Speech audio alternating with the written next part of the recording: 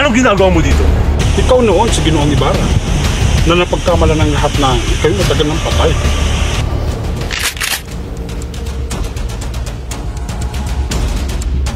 paghihirap, walang malasakit at walang dalawa! Tayo ang nagbinusa. Tayo mga Pilipino. Kaya naman, kabesang tali, may plano ako.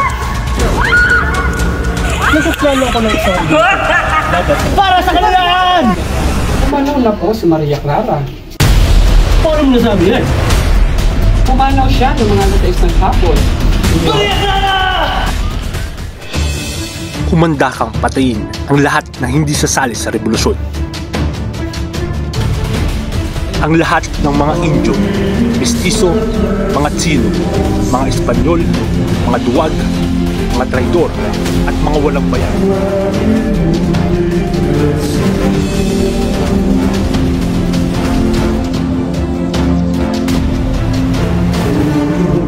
Sagani,